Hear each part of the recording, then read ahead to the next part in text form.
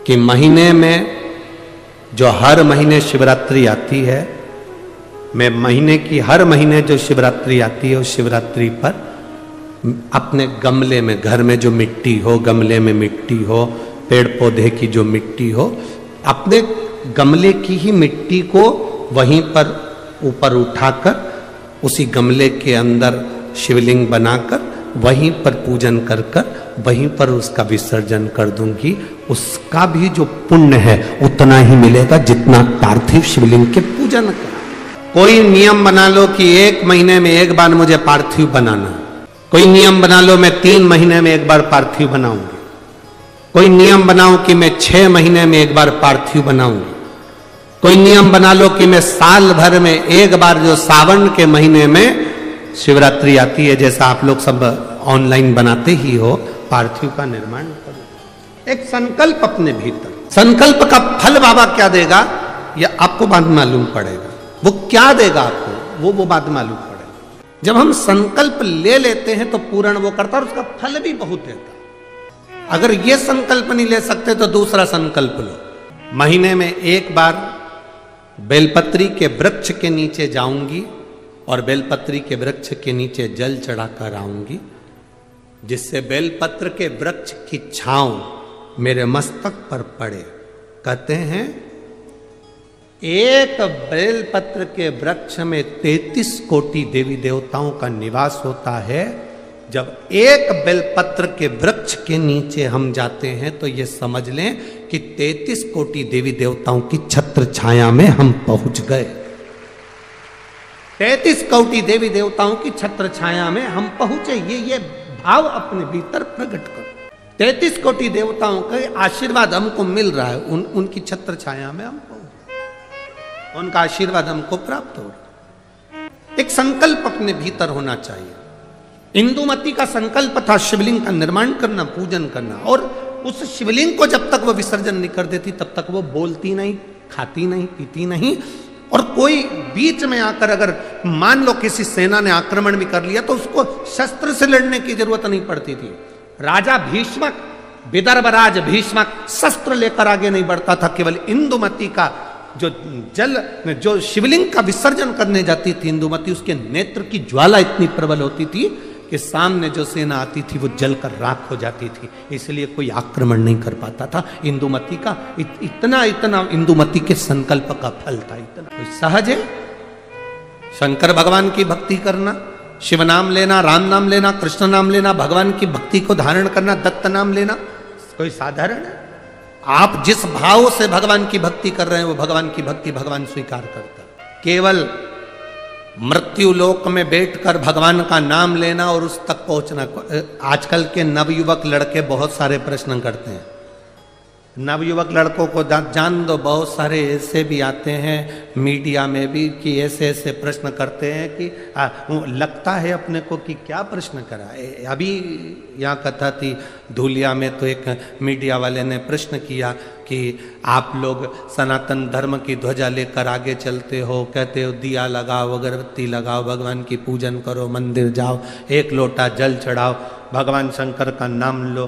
क्या भगवान को मालूम पड़ता है? किसने नाम लिया? क्या उसको प्राप्त होता है? हमने धूलिया की कथा में एक बात कही थी कि आपके यहाँ केले का पेड़ लगा है। ठीक है? अरे बोलो तो जम के ठीक है?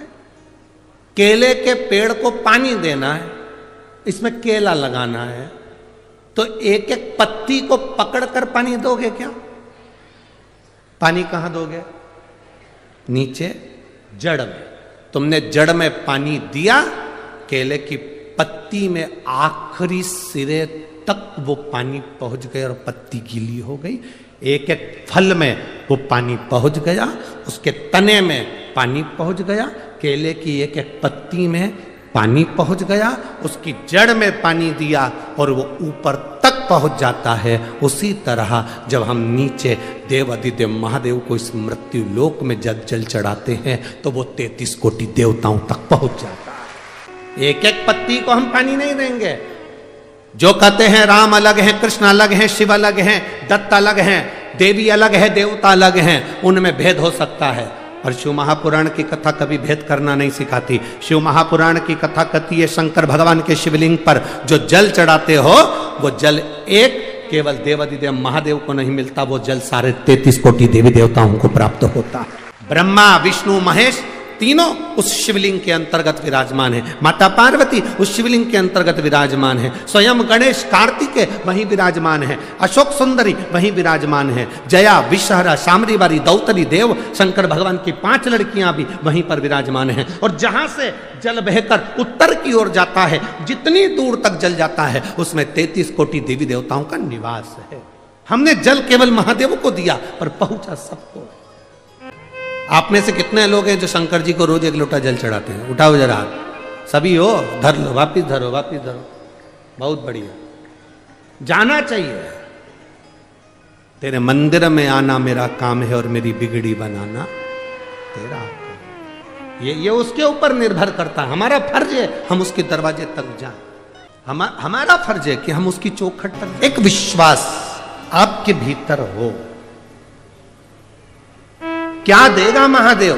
ये उसके ऊपर निर्भर है। अरे मेरी अमरावती की जीजियों और मेरे अमरावती के जी जाओ एक बात अपने भीतर उतार कर रखना मेरी बेटी और मेरे बेटाओं। यहाँ आए हो, खाली तो नहीं जाओगे, ये मेरा विश्वास कहता है। खाली नहीं जा सकते।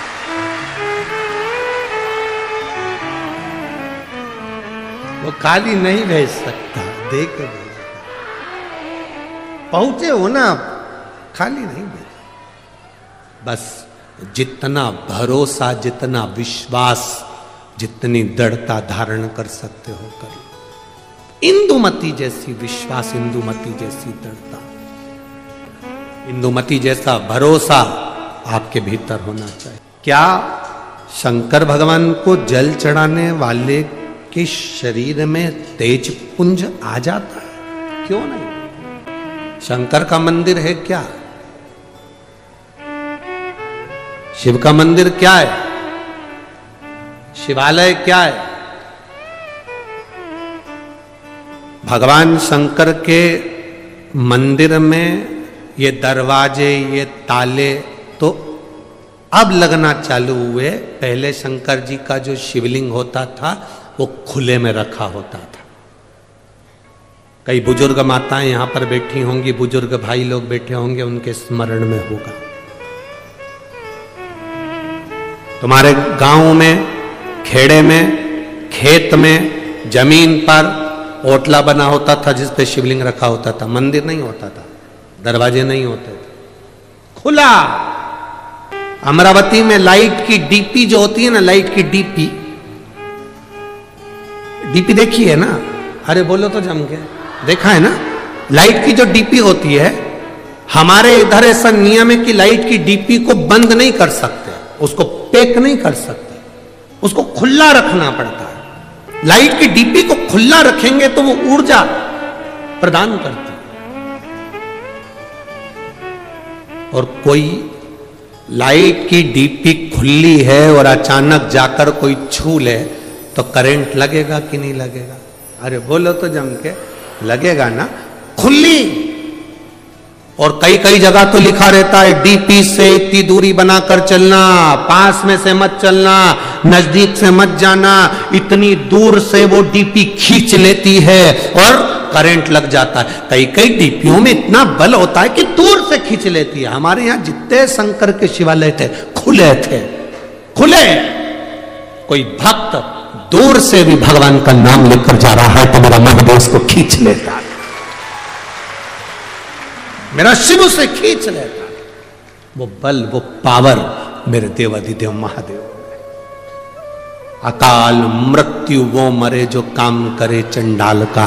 काल उसका क्या बिगाड़े जो भक्त हो, महा काल का जो शिव की आराधना करता हो, शंकर का उपासक हो, जो शिव का गुणगान करता हो, जो शिव भक्ति में डूबा हुआ, उसको क्या दुख, क्या तकलीफ़? हनुमान जी की एक चौपाई, हनुमान चालीसा की आप लोग स्मरण करते हैं। भूत पिसाच, महावीर नासे रोग, हरे निरंतर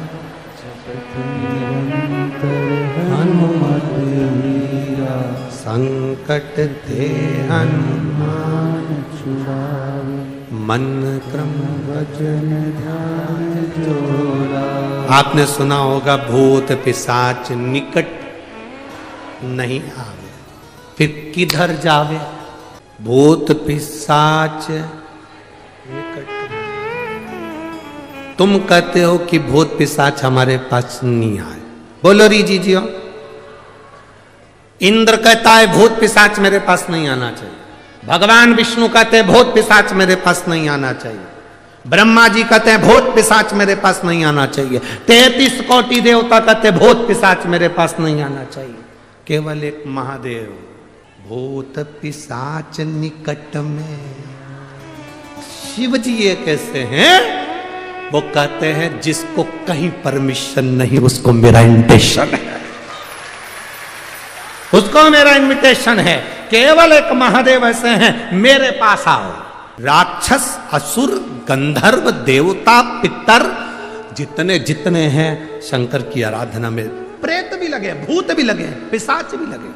कारण शिव महापुराण में वर्णन मिलता, विद्धेश्वर संहिता में। स्पष्ट कहा गया, जो शंकर जी को एक लोटा जल समर्पित करता है, उस जल का मात्र स्पर्श कर कर नेत्रों को भी छुआ लेता है। उसकी कत्तर पीढ़ी में कभी कोई भूत और प्रेत नहीं बनता उत्तर जाता उसकी इकहत्तर पीढ़ी में भूत, प्रेत। लोग कहते गुरु जी हमने आज तक कथाओं में सात पीढ़ी सुनत थी, तुम इकहत्तर पीढ़ी कैसे कह देते हो? हमने कहा, हम नहीं करे। तुम्हें अगर यहाँ नहीं पढ़ना है तो उज्जैन जाओ। उज्जैन के ऋण मुक्तेश्वर मंदिर